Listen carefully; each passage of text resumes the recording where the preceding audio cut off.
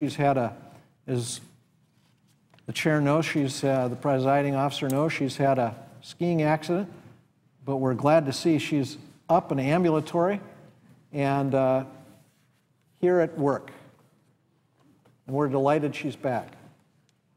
With that, I yield the floor.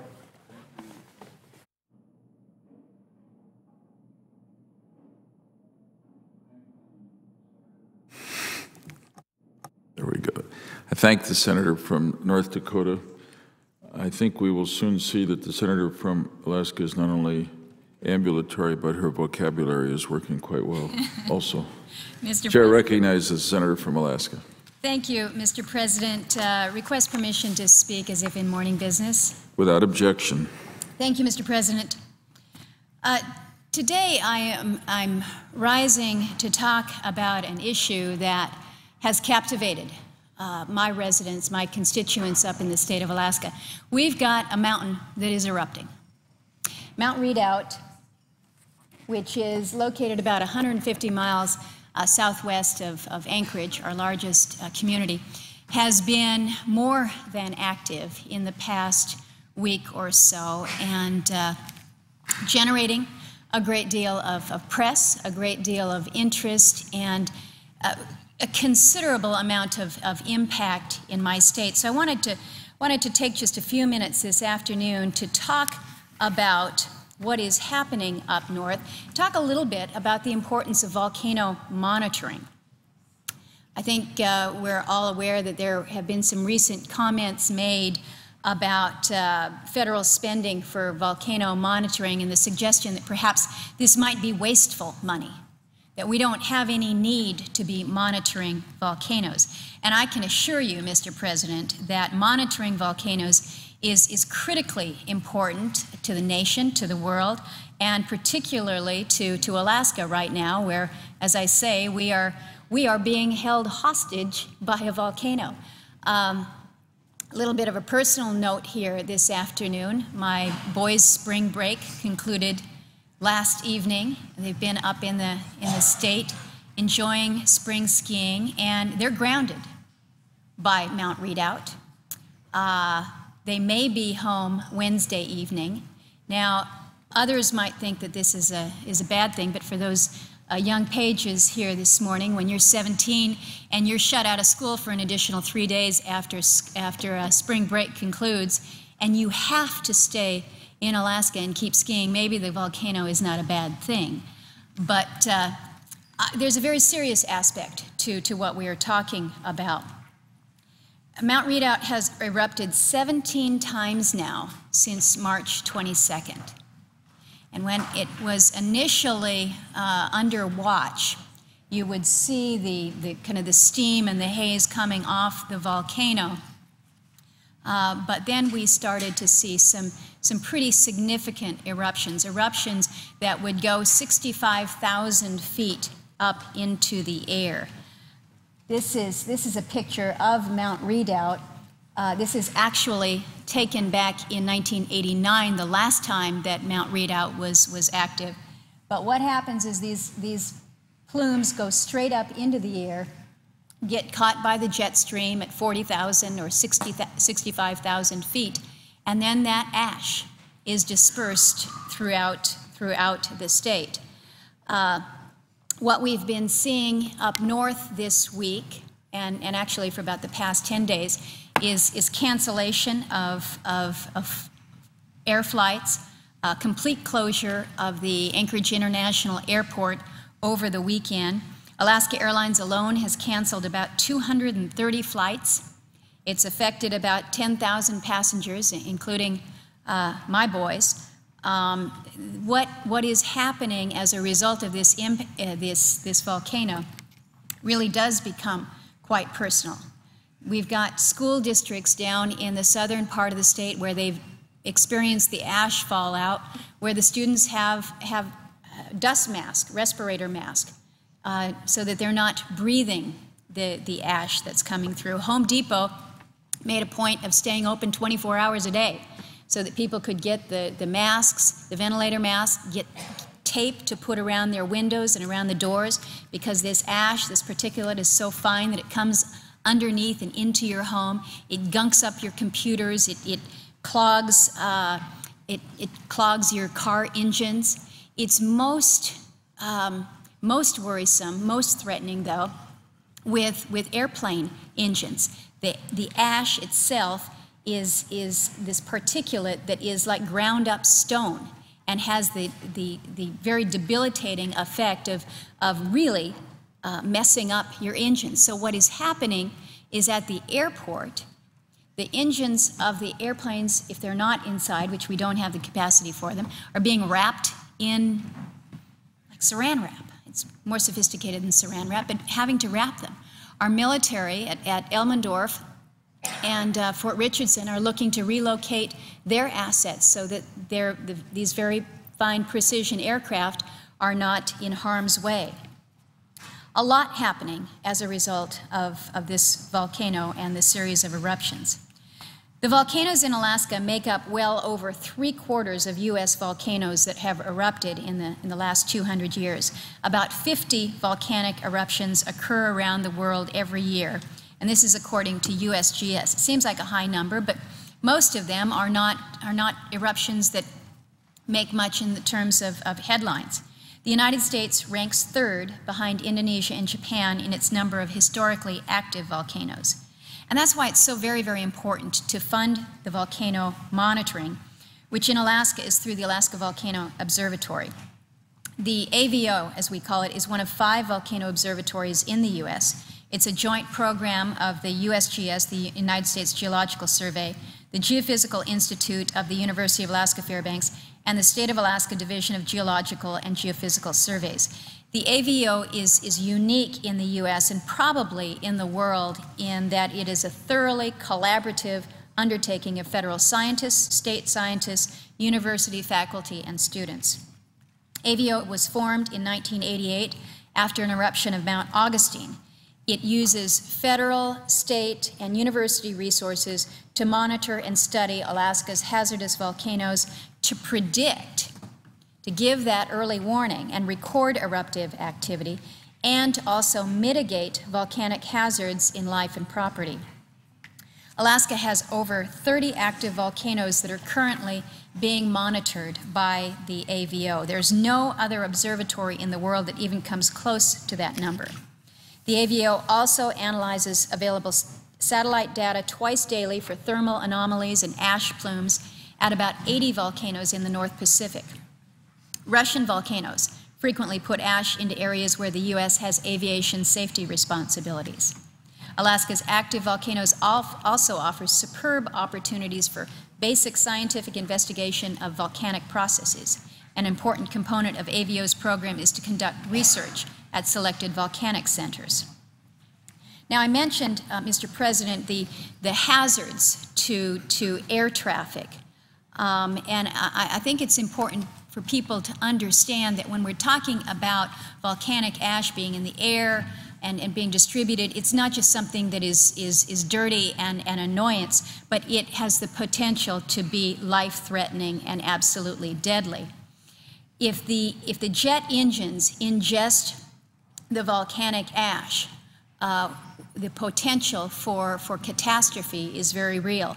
Back in 1989, it was December 15th of 89, there was a Boeing 747. It was flying about 150 miles northeast of Anchorage, and it, it went through the ash plume um, that erupted from, from the Redoubt volcano. It was flying at night, so it couldn't see that they were flying into an ash cloud. We didn't have the monitoring process, so the pilots are, are just flying on through and uh, it uh, sucked in the ash at, uh, uh, I'm not entirely certain what altitude they were flying when they first um, uh, encountered the ash, but the plane, with 231 passengers aboard, lost more than 10,000 feet elevation. All four engines lost power. And they went down 10,000 feet. That's about two miles. Now, we do a lot of flying around here. Next time you're up in that airplane, look down and think about losing all the power in your 747 and falling out of the sky almost two miles before these incredibly skilled pilots were able to restart the engines. They were able to, to, uh, to land the airplane safely, no lives lost. But uh, I, I can't imagine what it would have been like to have been a passenger on that, on that jet aircraft. The airplane suffered about $80 million in damage. All four of those engines were, were, were shot. And, uh, and, and again, the good news out of the story is that there, there was, uh, was no uh, loss of life. The FAA estimates, based on information provided by the FAA, that more than 80,000 large aircraft per year and 30,000 people per day are in the skies over and potentially downwind of many of Alaska's volcanoes, mostly on the heavily traveled Great Circle routes between Europe, North America, and Asia. It's along this route that kind of coincidentally follows the northern portion of the Pacific Ring of Fire there's over 100 volcanoes capable of depositing ash into the flight plan.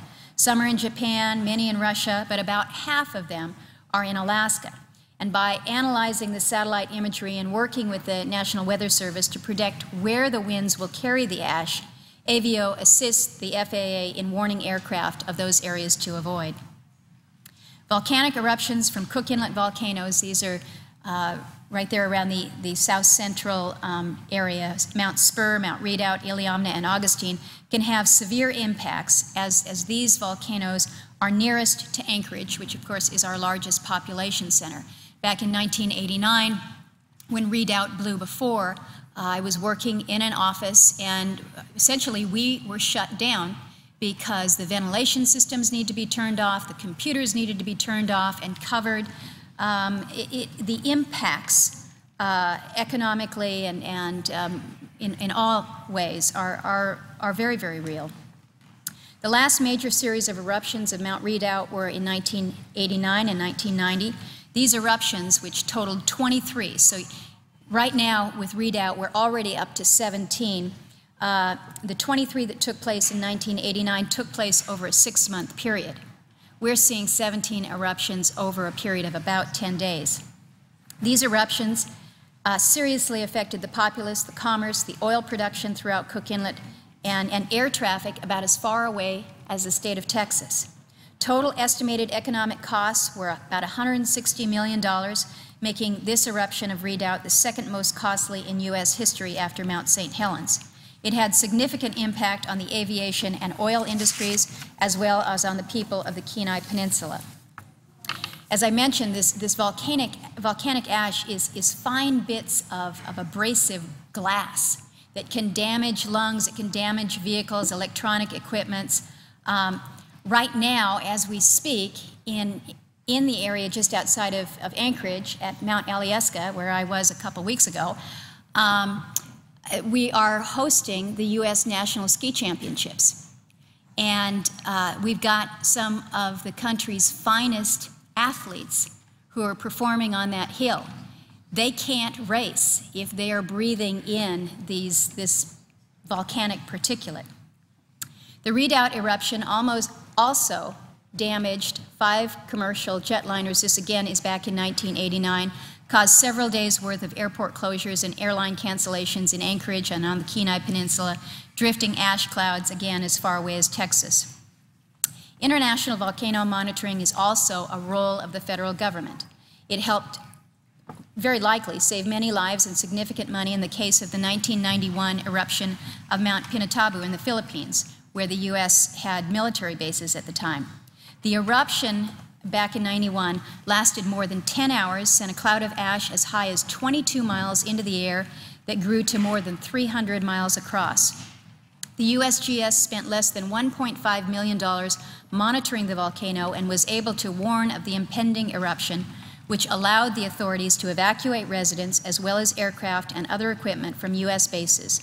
The USGS estimates that the efforts saved thousands of lives and prevented property losses of at least 250 million. It's not enough, though, just to justify a program by identifying a danger. The more important question is whether something can be done to reduce the impact of a volcanic eruption in terms of property damage and loss of life. And that means getting people out of harm's way by providing advance warning. And that's exactly what the USGS Volcano Hazards Program seeks to do through the existing volcano observatories in the United States. Some may say that there's an abundance of caution going on right now in Anchorage by shutting down the airport, by canceling flights, by diverting it. But as a mother whose sons are there and are, are, are going to be relying on air travel, by golly, I want to make sure that we err on the side of caution. I want to make sure that we're using those scientists who will tell us exactly when it's safe to be back up flying. The advances made in monitoring can now provide much more accurate and timely predictions of eruptions. Back in, in 1989, AVO was only able to predict, provide a few days' warning before Mount Redoubt erupted. This year, they began to detect activity and they notified the public a couple months before it eventually erupted. But the biggest challenge remains finding an adequate and stable source of funding. The USGS Vol Volcano Hazards Program has been constantly underfunded. Both USGS and the FAA provide funding, but it's not enough to manage all of the observatories or provide for an expansion of the system to cover increased monitoring and volcano research. It's because of the inadequate funding and critical importance of this program that I intend to introduce a bill that will provide the funding stability that volcano monitoring needs. This program shows that with a modest investment, a very large benefit can be produced in reducing the impacts of catastrophic events. My legislation will establish a national volcano early warnings and monitoring system within the United States Geological Survey to monitor, warn, and protect citizens from undue and avoidable harm from volcanic activity. The USGS will coordinate a management plan with the other relevant federal departments, including the Department of Transportation, FAA, the National Oceanic and Atmospheric Administration, Department of Homeland Security, and the Federal Emergency Management Agency. The legislation authorizes appropriations annually to the Department of Interior to carry out the act. Mr. President, I appreciate the, uh, the attention um, that you have given me on this issue here this afternoon. As I mentioned, uh, all eyes are upon the state of Alaska right now as we watch this volcano. But this is not the only one that we are actively monitoring and watching. We want to make sure that not only the, the residents of, of the state of Alaska are provided uh, a level of, of, of, safety through monitoring and warning, but any of, of those who may be in danger because of Mother Nature doing what Mother Nature does on a very unpredictable uh, trajectory. So what we are, what we're attempting this afternoon by uh, introduction of, of legislation to establish the National Volcano Early Warning and Monitoring System, I, I, believe is, is good and look forward to, to having the support of my colleagues on this very important matter. With that, Mr. President, uh, I thank the chair and yield the floor. I would suggest the absence of a quorum. Clerk will call the roll. Mr. Akaka.